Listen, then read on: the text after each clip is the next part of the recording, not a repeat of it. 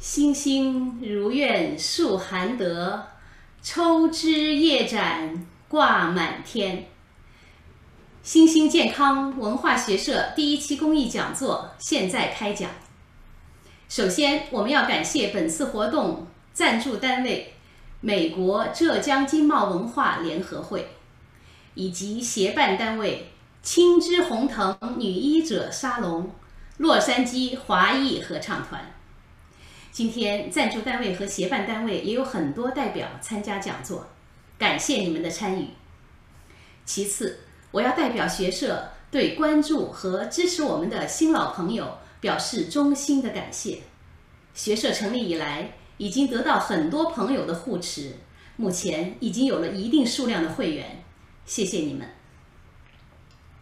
今天讲座的主题是文化艺术与身心健康。主讲人丁玲，他是医学博士、肿瘤内科主任医师、硕士研究生导师，首届胡润中国好医生上榜医生，国家卫生健康委健康频道医疗康养海外顾问，新兴学社 Doctors Voice Foundation 创始人。环佩叮当阅读屋创办人兼主讲，华语医学资讯平台医生 Doctor's Voice 创办人兼主播，美国华裔教授学者协会秘书长，美国教授专家联合会理事。丁老师今天的讲座详细的解释和分析了文化艺术。与心理快乐和身体健康之间的密切关系，这在文学界和医学界都是一个很新的课题。大家在讲座的过程中，如果有问题，请在对话框留言，丁博士随后会做解答。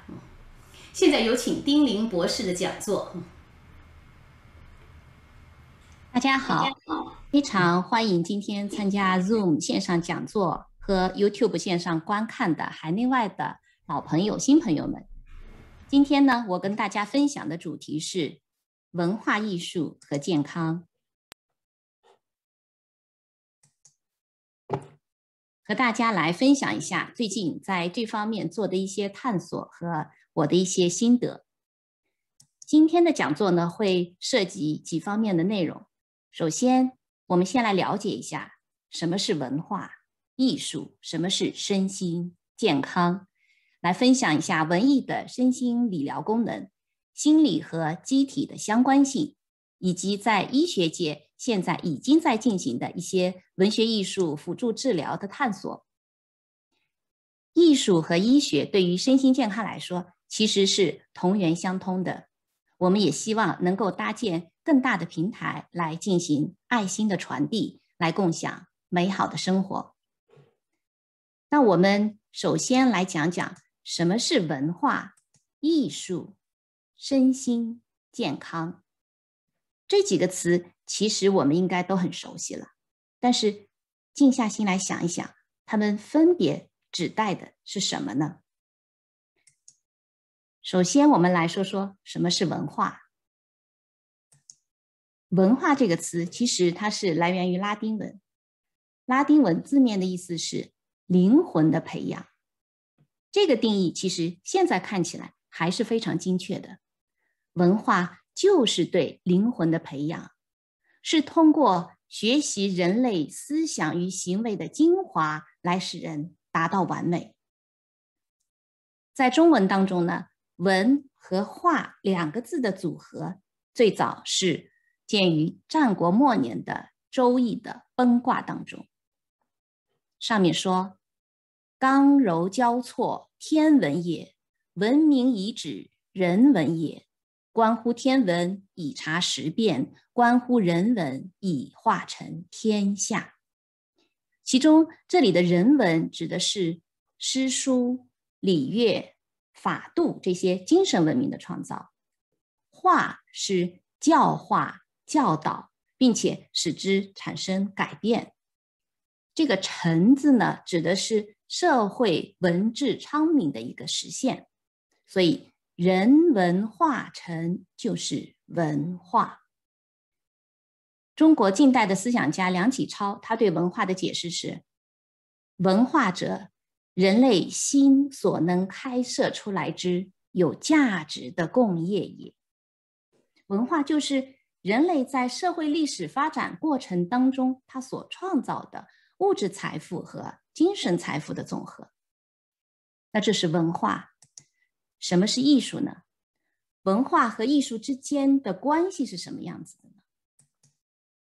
艺术其实就是借助一定的手段或者媒介，通过塑造形象、营造气氛来反映现实、来寄托情感的一种文化。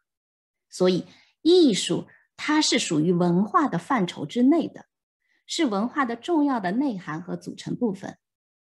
而文化呢，它是艺术的渊源和内容。和科学相比。艺术最大的特点是离不开情感的表达。其实现在根据分类的标准不同，艺术可以分成很多种的门类。我在这里呢，给大家介绍最常见的一种艺术分类，是根据表现手段和方式的不同，艺术可以分为四大类，可以分为表演艺术。我们常见的音乐啊、舞蹈啊、戏剧啊，都属于表演艺术。还有通过眼睛看的视觉艺术，绘画、雕塑、建筑，这些都属于视觉艺术。文学、播音、演讲、辩论，这些就是属于语言艺术。还有综合艺术，把这些都综合在一起产生的，像电影啊、电视、歌剧、音乐剧这些，就是属于综合艺术。在这里，可能有些朋友会很奇怪哈。我一个医学背景的人，刚才我们主持人已经介绍了，我从医大概二十多年，今天怎么会来谈论文化和艺术这个主题呢？一年之前，因为疫情的突然爆发，很多的朋友被禁锢在家里，不能出门，不能交往，突然之间不知道应该做些什么，觉得很无聊，感到很焦虑，很无所适从。而我自己呢，因为从小就喜爱文学、喜爱艺术，平时呢也喜欢阅读啊、朗诵啊、主持啊、唱唱跳跳啊，停不下来的一个人。然后呢，在几位朋友的建议和鼓励之下，我就想，好吧，都说若有诗书藏在心，岁月从不败美人。既然大家都无处可去，那我们就来找一个。安安静静可以将心灵安放的角落，一起来接触经典，一起来赏析文学艺术吧。所以机缘巧合之下，我们在线上的环佩叮当阅读屋就这样开办了起来。之所以用环佩叮当这个名字，是因为很欣赏《诗经·国风》里面的一句话：“有女同行，颜如顺英。”将翱将翔，佩玉锵锵，比美孟姜，德音不忘。文字就像是环佩，叮当是一种音律。在环佩叮当阅读屋里面，我们一起听书、品书、朗读、朗诵，一起享受经典的文学艺术作品带给我们的滋养和快乐。现在回想起来，一年前那样一个很自然而然的一个动念、一个举动，其实从刚才我们对文化、对于艺术的定义来看，我们其实就是在走进文化、走进艺术这个范畴。当然，在阅读屋里，我们是以语言艺术为主，我们从《诗经》古文到唐诗、宋词、元曲。从明清小说到现代诗词散文进行阅读和赏析，但是我们也不是仅仅局限于文字的内容。我们在文学欣赏的同时，也在涉及别的艺术门类，比如我们讲歌剧《茶花女》，讲京剧《霸王别姬》，讲芭蕾舞《天鹅湖》，讲古典舞《孔子》，讲小提琴协奏曲《梁祝》，甚至我们还。分享越剧版的《梁祝》，黄梅戏版的《梁祝》，这些涉及的都是表演艺术。我们还讲国画，讲《富春山居图》《五牛图》，我们也讲油画《蒙娜丽莎的微笑》，我们讲梵高。那这些呢，属于视觉艺术的范畴。同时，我们在讲历史、学诗词的时候，也分享像电影《霸王别姬》，分享央视的经典咏流传当中的一些古曲新唱等等。那这些呢，都是属于综合艺术。和青少年学中文背诗词不同，我们阅读屋里面汇聚的都是成年人，有在各自的专业领域取得了不小成就的行业领袖。也有刚刚移民美国开始新的生活和事业的朋友，也有目前还身在中国大陆的朋友。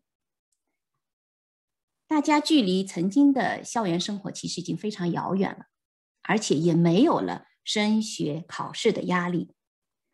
但是正因为如此，正因为心中对文学、对艺术的那一份热爱，我们走到了一起。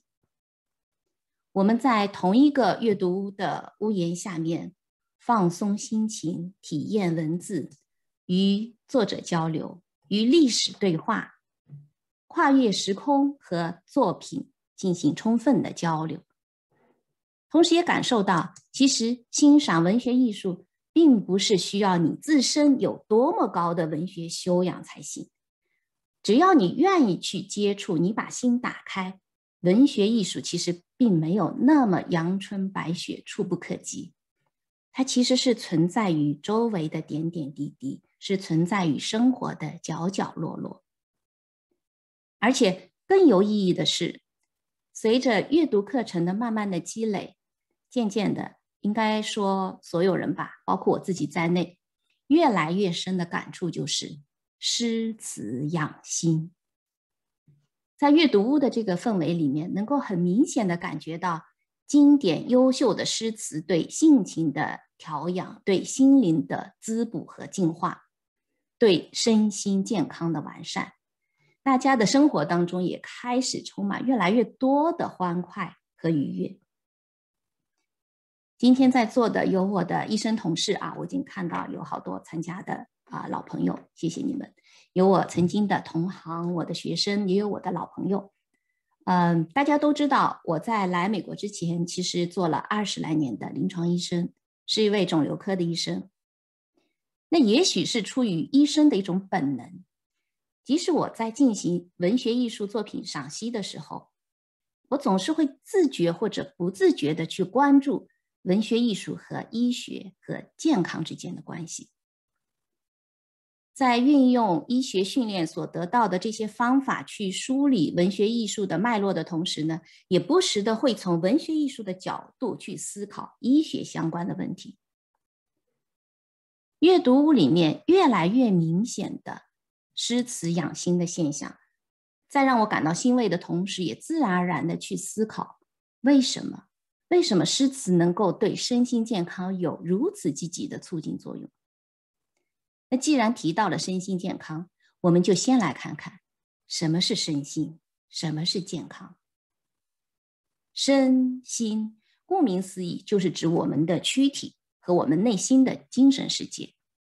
那关于身体和精神之间的联系，其实有很多的循证医学的可证据，非常的多。比如我们在感到心寒的时候啊，心里面一阵阵发冷的时候，身体真的会觉得很寒冷。又比如说，如果你的皮肤经常出现状况或者提早老化的话，背后可能是存在着一个情绪问题。这个最普遍、最典型的例子就是，如果你压力太大，情绪不好，脸上很容易长痘痘。我想这个经历大家都有过。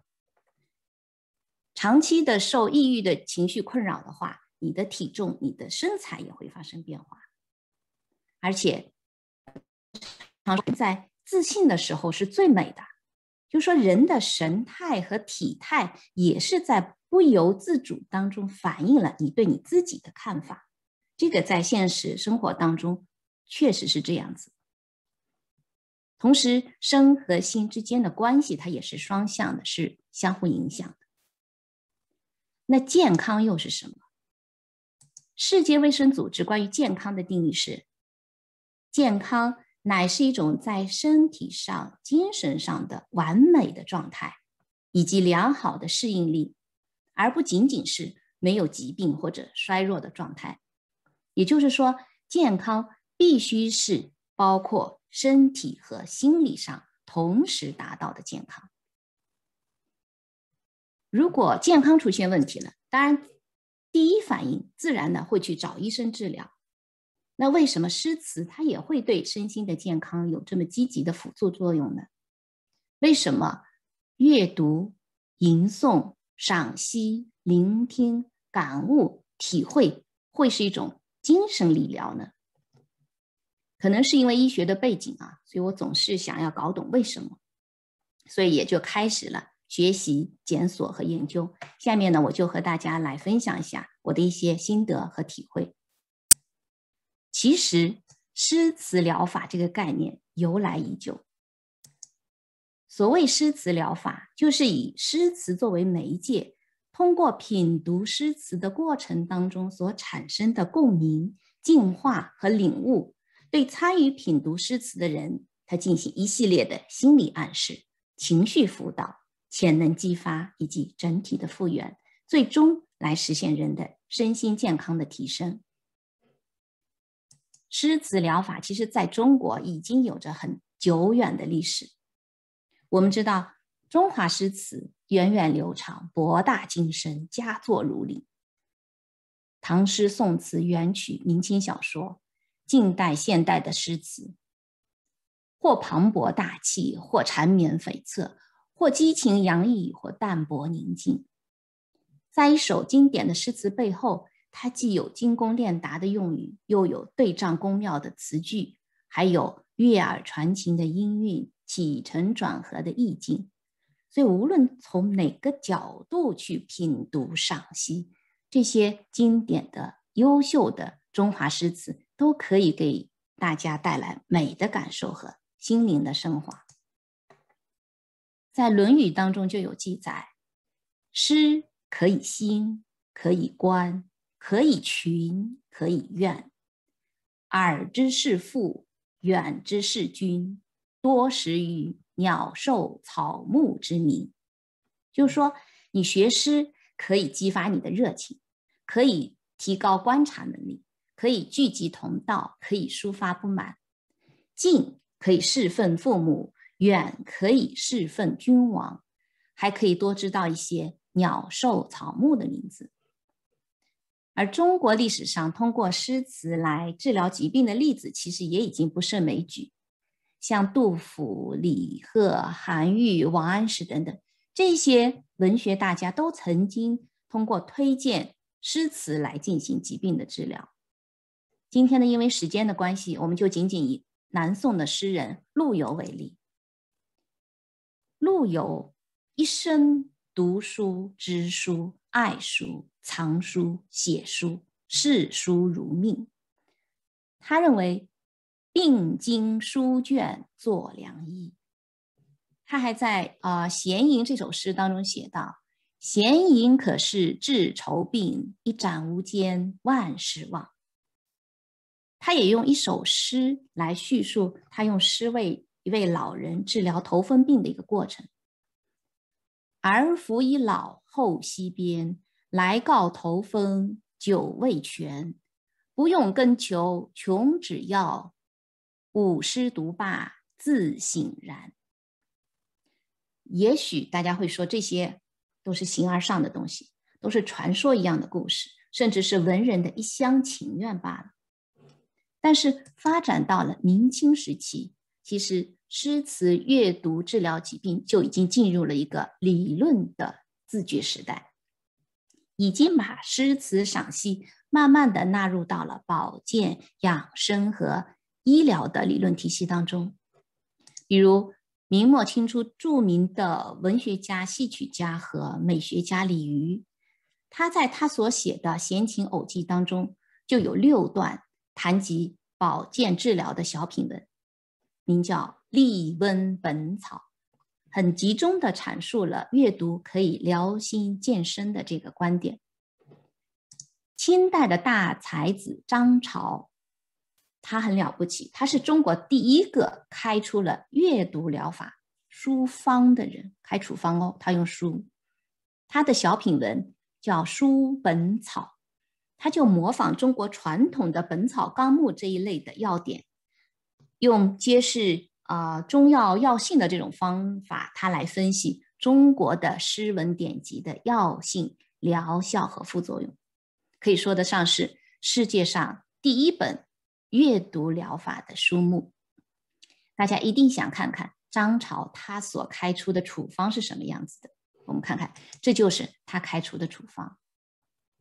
我们就简单来看第一个处方吧，四书当中的《大学》《中庸》《论语》《孟子》，具性平，味甘，无毒。服之清心益智，寡嗜欲，久服令人醉面盎背，心宽体胖，是不是很有意思？他在处方当中还有对于五经、对于诸子百家的书籍这些功效的描述，所以由此可见，中国古代一直有诗词疗心、诗词疗病的理论和实践。但是大家不要以为诗词它只是治病延年，就是它这个理论只是局限于中国啊。诗词可以治病延年的这个理论，其实不是只局限于中国，在西方的文化当中也早已经有了诗歌疗法。希腊神话当中的文艺之神、医药和诗歌之父阿波罗，他被认为是。诗歌疗法的源头所在，最早有意识的来运用文字来治疗的是古希腊人，像亚里士多德，他就在他的诗学里面就探讨了宣泄是具有情感治疗的作用的。近代美国的作家，同时也是大提琴家本杰明·拉什，他被认为是第一位。利用诗歌阅读来为精神病患者提供治疗的开拓者，在一九二五年的时候，名叫罗伯特·海文·肖弗勒的，他就撰写了《诗歌诊疗袖珍的诗歌药箱》这部书。这部书其实和我们清代的张潮很像，它也是以开处方的形式来针对患者不同的情绪问题提供不同的诗歌药方。甚至在意大利，由于推行吟诗养生，所以还催生出了诗疗师这么一个很新兴的职业。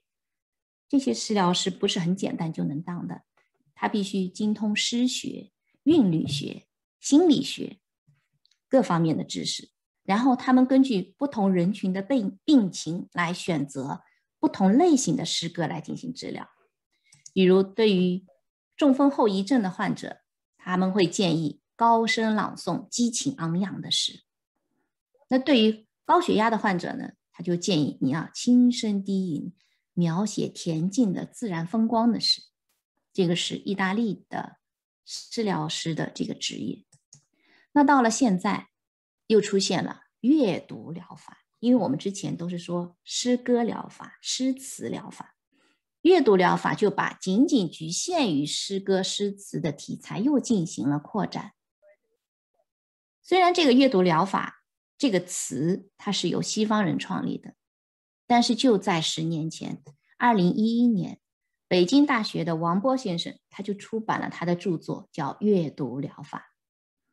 他也向医生开处方一样，为对症的患者来开出阅读的书单。而且他这个书单的目录当中是涉及了中外文学，涵盖了各种文学题材。我们来看看王波的阅读疗法的处方是什么样子。我们就看第一节，你看他说对症，如果敛财火滞、欲壑难填者，取清心败火之药。那他开的处方是什么呢？你就应该去阅读日本作家中野孝次的。清平思想，他还有服法，说清水一杯，日服一张，而且他还根据不同的症状来选择不同的书籍诗篇，甚至他配的不一样。你看，他前面配的是清水，后面这里有配茶，也有配酒，这些都是文学艺术和身心健康方面做出的一些很积极的探索和尝试。当然，到现在为止，我们看到的都是结论，都是现象。那作名作为呃一名医生，一名理工女书生吧，其实我更关注的是在这些诗词疗法背后，科学的理论依据在哪里？根据科学的研究数据表明，聆听朗读诗诗词，它之所以能够愉悦身心。因为首先，它有助于增强人的肺活量，降低血压。今天在座的有来自华裔合唱团的团员们啊，其实我自己也是合唱团的成员之一。那我想，合唱团的团员对于唱歌给身心带来的愉悦感，应该是最有感触的。和唱歌很相像，吟诵诗词，因为它有情感的变化，有人体的各个器官系统都会参与活动。所以就会使得大脑神经的敏感度提高，促进人的血液循环，促进体内的新陈代谢。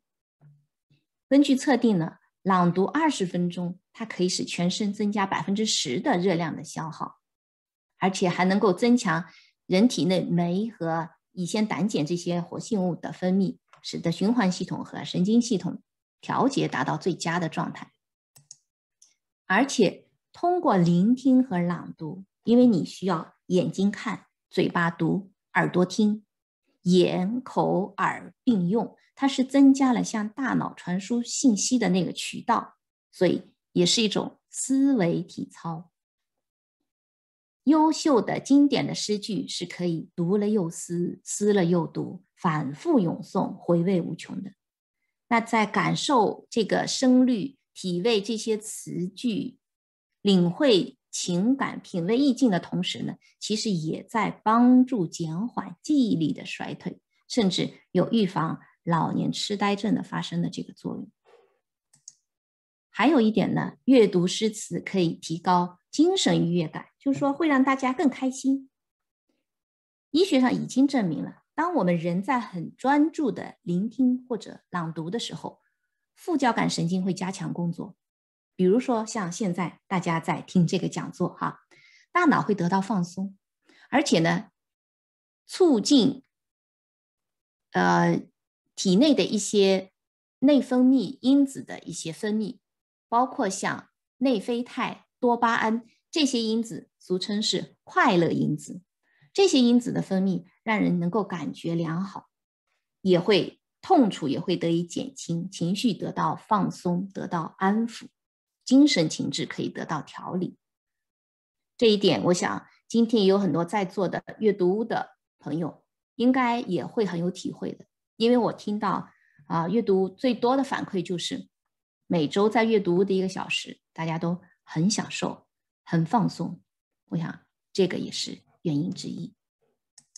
还有就是心灵的升华和洗礼，我们都知道。胸藏文墨虚若谷，腹有诗书气自华。在接触优秀的经典的文学作品的时候，我们是和作者去对话，和历史去对话，同时也是和自己对话。你会不由自主的在这些作品里面去映照自己，去寻找自己的影子，去假设你如果是在那样的情形下面，你会怎么样去处理这个事情？而且你也会从中得到启示，看人家是怎么处理的。所以，好的文学作品，它是会把你的一些负面的、消极的情绪渐渐淡化掉的。你的孤独感、失落感也会因此得到释放和缓解，会让你有一种豁然开朗、一种“柳暗花明又一村”的那种感觉，会让你有一种向上的、积极的力量。最近。啊，我们阅读屋的朋友都知道，我们刚刚学完两篇古文《滕王阁序》和《岳阳楼记》。初唐少年王勃的“不坠青云之志”的这个青春豪情，和大政治家范仲淹的不以物喜，不以己悲，先天下之忧而忧，后天下之乐而乐的这种家国情怀，我想对我们阅读的每一位朋友都是有触动、有激励的。当然，有些人他说我压力大，我为了疏解压力，我去选择喝酒、抽烟，甚至暴饮暴食，确实也会减压。但是和这样的优秀的文学作品的陪伴和洗礼的作用是完全不一样的。有这样优秀的文学作品的陪伴，我们对待生活的态度是积极的，人是会变得越来越有温度，越来越有内涵的。接下来我们阅读，马上要开讲《兰亭集序》，去感受另外一篇经典古文和绝世书法带给我们的愉悦，带给我们的启迪。吟诵诗词还有很重要的一点，就是因为大家都爱书，都读书，所以我们这些志趣相投的朋友就走到了一起。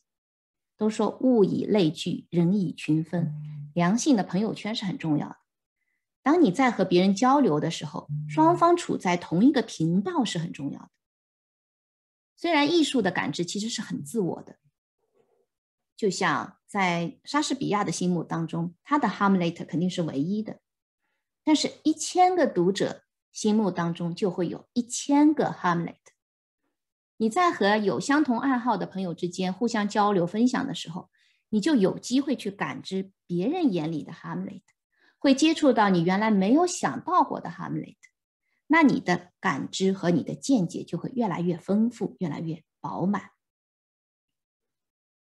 阅读本是平常事，繁华尽处遇知音。有朋友形容我们的阅读是繁杂世界当中一片安静的绿洲，一个可以将心灵安放的处所。在这里，我们讨论文学、欣赏艺术，就像一个很温暖的大家庭，其乐融融。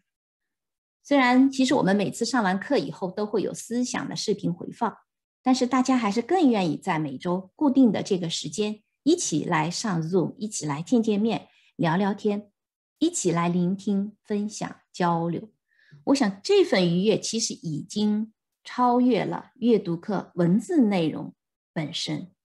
这是一个一起聆听、一起阅读的那种气场、那种氛围的魅力和吸引力。作为一位医者，哈，阅读一年，差不多一年吧，一年来的实践活动让我是深有感触，让我更深入的去思考健康的含义在哪里，医学的真谛在哪里。虽然我们阅读屋的成员应该都是健健康康的普通人，并不是病人。但是我们也不能够否认，普通的每一个人也是会不时的会有情绪上的波动，会难免有难以打开的那种心结，会有一时排遣不了的苦闷。如果你不及时的进行疏导、宣泄、排解，久而久之，就像一块大石头一样压在你胸口。所谓积郁成疾，《红楼梦》当中的林黛玉以及林黛玉。曾经的扮演者因为乳癌的去世，我想这些都是一个很好的例证。都说健康的一半是心理健康，疾病的一半是心理疾病。大概百分之七十的疾病都和一个人的心情是有关系的。身和心是紧密联系在一起的。当一个人情绪发生变化的时候，往往会伴随着一系列的生理变化。焦虑、犹豫、恐惧这些不良的情绪会引发炎症、冠心病、肿瘤，这一系列的研究已经越来越被医学所证实了。那关于这个发生的机制呢？医学界比较公认的解释是：当人的情绪发生变化以后，心理发生变化以后，是会导致相对应的内分泌系统和脑神经递质发生变化的。那这些变化又会进一步改变人的免疫能力，最终导致人的免疫功能的紊乱和失控，导致恶性肿瘤的发生。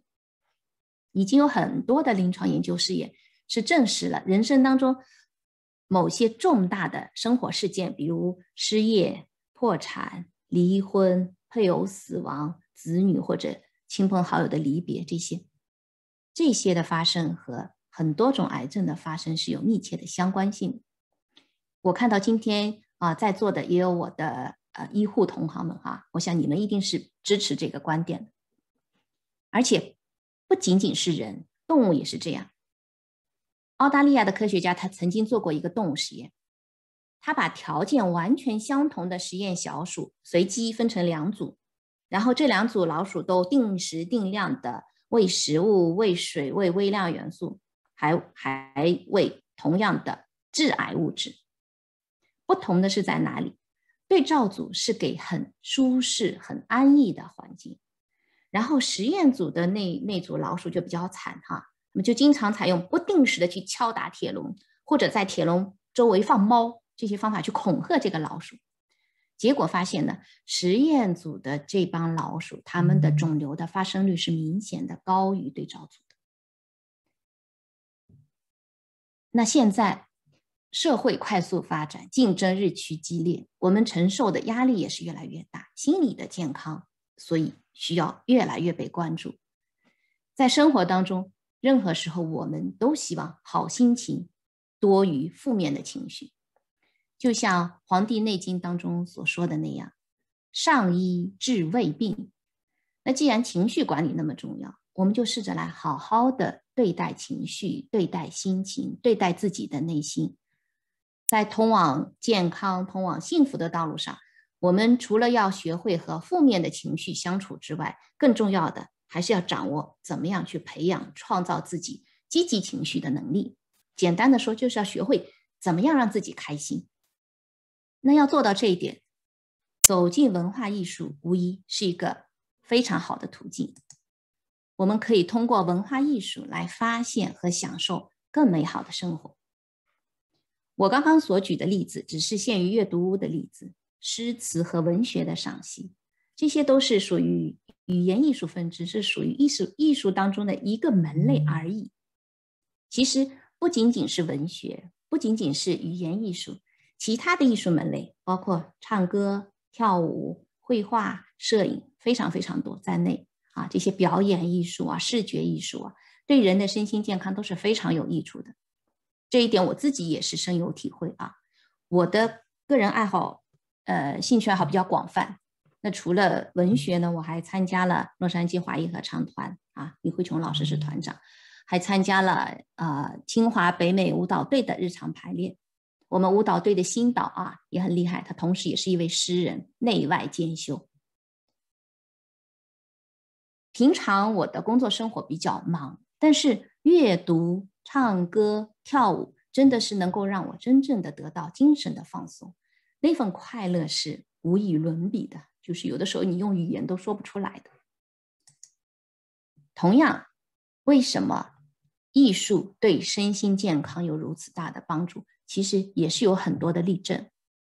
在二零一九年十一月十一号的时候，世界卫生组织就首次报告了一项大型的研究结果，它是通过对全球九百多种出版物当中展示的数据分析，它来确认了。从事艺术活动会对身心健康产生很积极的影响。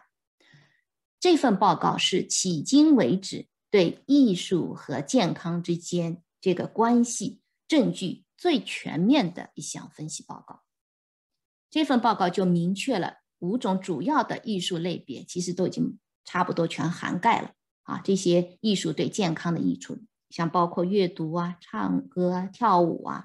参观博物馆、聆听音乐会这些常见的艺术活动都包含在里面，而且通过它当中的例子表明，艺术可以应对不良的或者复杂的健康挑战，例如可以预防并且减缓糖尿病、肥胖症和精神疾病的发生和发展。所以这篇报告它的结论是，通过艺术提供了迄今为止。普通医学实践当中，很多无法有效解决的方案，已经有太多的研究已经证实了，从人的出生到生命的终结，人生的整个年龄段，艺术都可以对健康产生很积极的影响，对身心健康是一种补充或者说是一种增强的作用。例如听音乐、制作艺术品。它可以减少由于癌症治疗引起来的像嗜睡啊、食欲不振啊、恶心啊这些副作用。然后在急诊室当中进行艺术活动，比如说像喜剧表演啊、手工艺制作啊，是可以减轻病人的焦虑和痛苦，甚至减轻他的血压。练习舞蹈可以改善帕金森氏患者的运动能力，这个也是毋庸置疑的。意大利有一项研究表明，当这些参加研究的病人他们在欣赏自己认为是很美丽的一幅画的时候，他表示他原来身上的。疼痛的程度减弱了三分之一，这个不单单只是他们自己的感觉，因为同时在研究的时候还用电极去测量大脑的活动，那这个电极测量的结果也证实了这些人表述的疼痛减轻确实是真实的一个反应。所以说，愉悦的心情确实是可以使人忘却身体的痛楚的。还有研究表明，在创伤病房的病人。啊，如果给他们每天让他们看电影啊、看音乐会啊，那他们的住院时间比对照组的时间相比缩短一天，而且他们对镇痛药的需求也明显的降低了。如果在啊在门诊接受化疗的这些病人，也给他们提供看电影啊、听音乐啊这些，会使他们的抑郁的程度比对照组降低大概百分之三十左右。正因为如此。目前已经有很多国家在制定艺术和社会处方方案，专家们也提出了艺术疗法这个概念，把艺术活动创造福于更多的患者。而且据我所知，我的一些医生朋友们也凭着他们的爱心，也已经在这方面进行啊很积极的尝试。目前随着生物学、认知科学和神经科学的发展。通过对神经回路和神经内分泌标记物的这个研究，都已经有越来越多的证据来证实人的大脑是怎么样来回应艺术的，是怎么样来诱发出人的积极的状态的。甚至现在已经发展出了一个新的研究领域，叫做神经美学。这个是关于艺术的神经生物学基础的科学研究。用一些物理的手段来收集大家关于怎么样来回应艺术的这个科学的证据。那这些科学证据都表明了，尽管艺术它并不是一个灵丹妙药，不能应付所有的啊心理健康问题，但是艺术确实能够以新颖的方式去吸引人的思想。以健康的方式来调节我们的情感，并且使我们感受到生活是如此之美好。西班牙著名的画家毕加索的这句名言经常被大家引用：“艺术涤荡灵魂，洗净凡尘。”艺术活动是我们日常生活当中很常见的一种解压方式。艺术它可以增进人的愉悦感、满足感和幸福感。所以在进行艺术创作或者在欣赏艺术品的时候，你其实正是在做一件对自己身心健康有益的事情。所以，我们说，艺术让那些沉寂着的情感在意识层面中安全着陆。以上都是我的一些呃理论和。研究方面的一些检索，这些结果，那结合我作为医生这些年在医学临床的感受，结合我自己在文学、唱歌、舞蹈这些艺术活动当中的体会，同时也正因为很欣喜的感受到我们阅读屋的朋友们以及我自己在身心健康方面所发生的积极的变化，所以呢，我们希望能够把阅读屋的外延能够进行扩大，把语言艺术的这个范畴再往下扩。联合更多的力量，为大家来营造一个共赏文学艺术、共享健康资讯的这么一个氛围，使得越来越多的人能够从文化艺术活动当中得到更多的愉悦和快乐。所以呢，最近我们成立了非营利性公益组织“新兴健康文化学社 ”（Doctors Voice Foundation），希望能够带着文艺的凝香，怀着真挚的爱心去传递温暖与关怀。这主要通过对优秀的文学艺术作品的学习和赏鉴，结合医学专家们的最新的医疗资讯、前沿的科技知识来服务大众，以健康的身心、愉悦的精神，用热情的帮助、爱心的奉献，共享美好的生活。所以，我们也希望联合更多的爱好文学艺术的啊爱心人士和医学相关人士，通过分享和交流。用文艺的情怀去感染，用医学的理念去引导、去服务每一位需要帮助的人。我们没有性别、年龄、地域、国界之分。希望有更多的朋友能够在新兴学社找到属于自己的一片天地，一份舒畅的情怀，拥有一处将心灵安放的空间。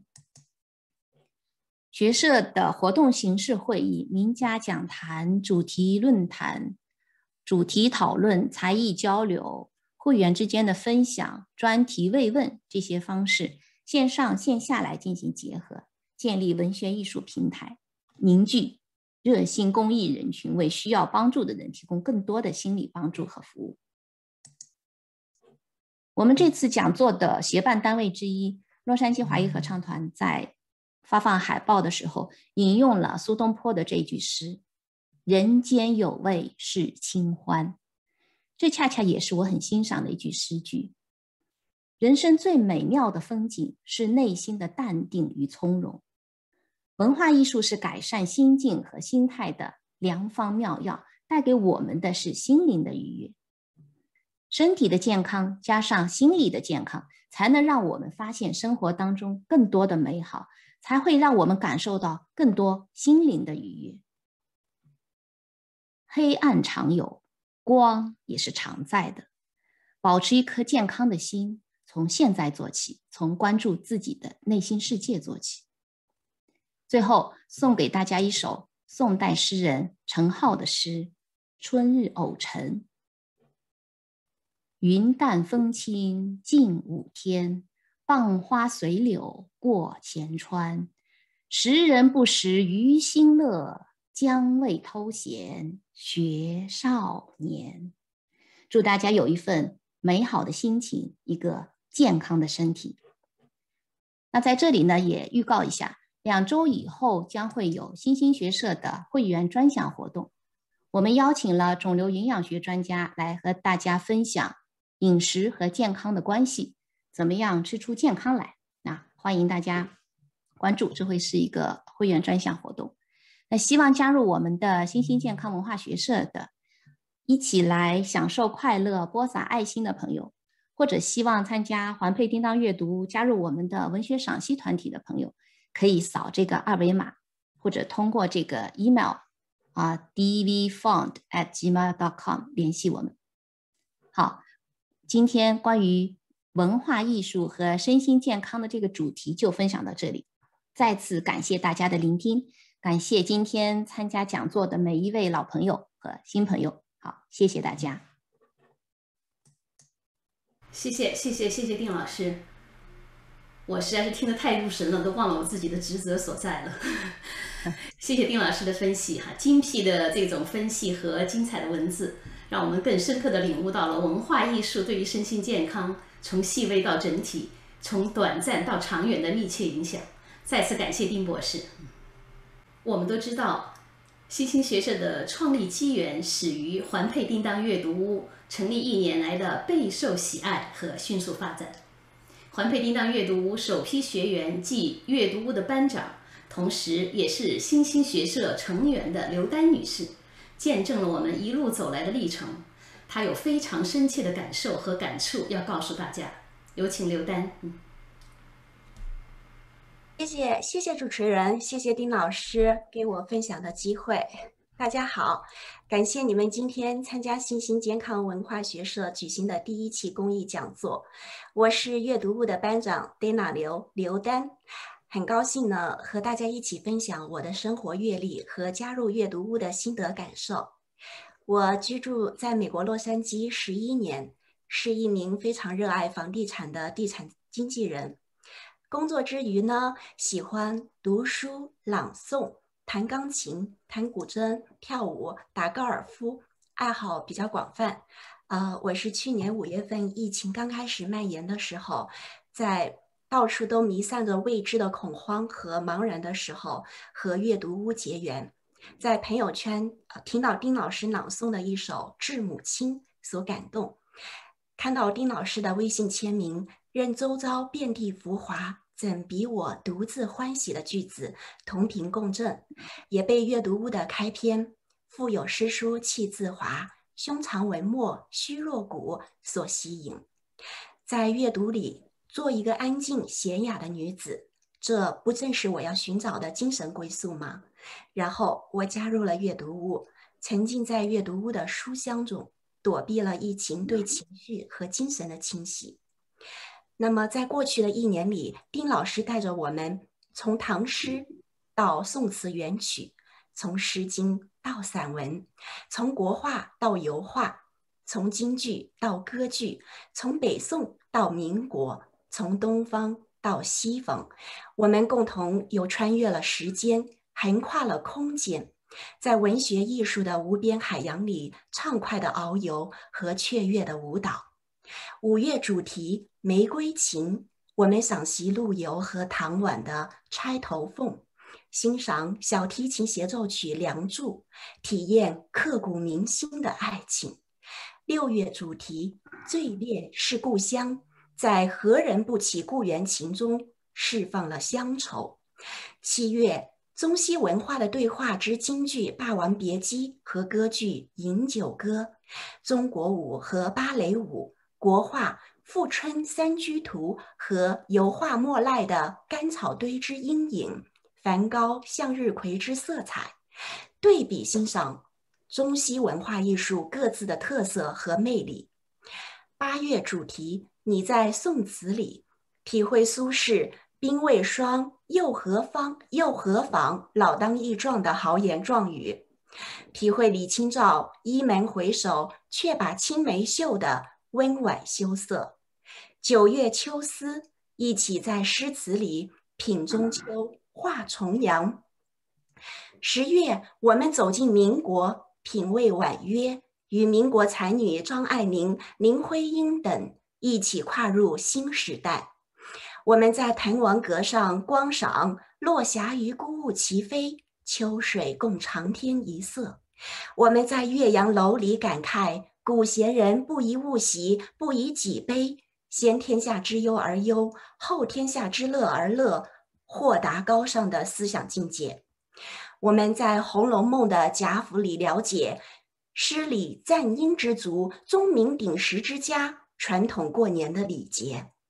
我们欣赏五爷绝句的证明流水对，七言律诗的起承转合，芭蕾舞的声韵，芭蕾舞的开绷直立，古典舞的声韵传神，国画的水墨丹青，京剧的。生旦净丑等等，经过阅读屋一年定期定时的熏陶，我的心不再像疫情刚开始时那么浮躁不安，情绪也更加稳定。在欣赏文学艺术的同时，让我释放情感，心旷神怡。我们阅读屋里没有没有呃岳阳楼里面的渔歌互答，但是我们有高山流水。有各行各业和各类文学艺术成就的诗友汇集于此，我们彼此惺惺相惜，其乐融融。有独乐乐，也有众乐乐，此乐何极？此外，我也加入了公益组织“新兴健康文化学社”，我们学社将会有会员专享活动，欢迎志同道合的朋友加入我们，和我们一起好好的读一片诗。念一阙词，赏一幅画，听一首曲，做一件事，关爱自我和他人，愉悦身心，热心公益，体验健康、快乐、充实又有意义的人生。有想加入我们的，请和我们联系。谢谢大家。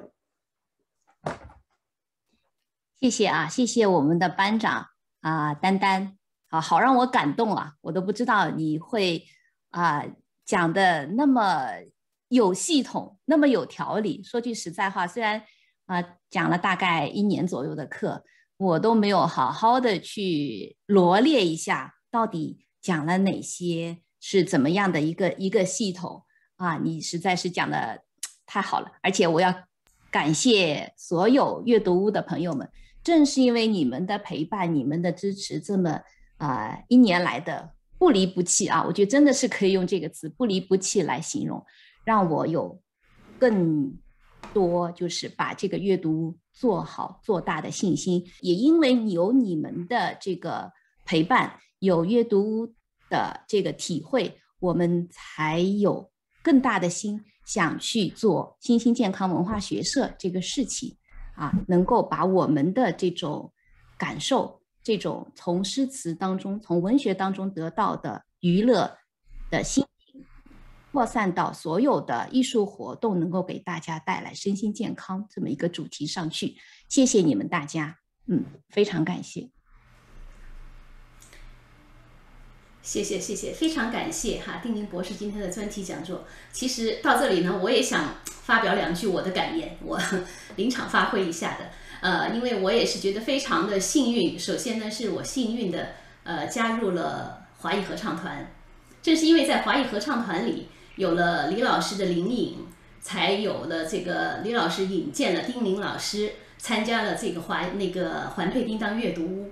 我也是，之前我也讲过，就是第一次听了丁老师的讲课，是瞬瞬间我是路转粉，所以才有了跟就是说可能丁老师刚才讲到的是同频道的这样的一个震动，所以成为了好朋友，也想一起做一些事情。谢谢谢谢丁老师。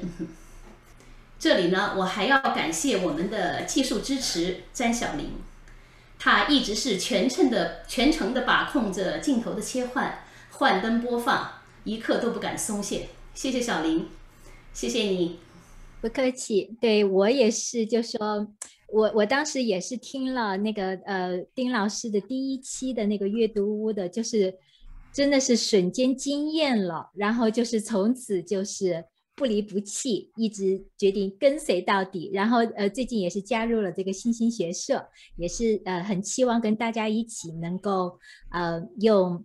爱好诗词，爱好文艺，爱好文学，然后再加上丁老师的医学背景，我们来一起来帮助更多需要帮助的人。谢谢。那最后的话呢，我这里还有一个预告，刚才丁老师在讲座里已经讲了，就是两周以后我们有一个会员专享的医学讲座。那时间呢是在四月九日，那由会有一个医学专家给我们讲解饮食疗法，促进身体健康。那具体的通知呢，我们会再通过邮件发给每一位的会员。那如果非会员的朋友想要参加的，请直接微信或者邮件联系我们。新兴健康文化学社第一期公益讲座到此就结束了。下一期公益活动的时间和内容，我们会提前通过海报告诉大家。谢谢朋友们的持续关注和支持。在中国的朋友，祝你们有愉快的一天；在美国的朋友，祝你们晚安。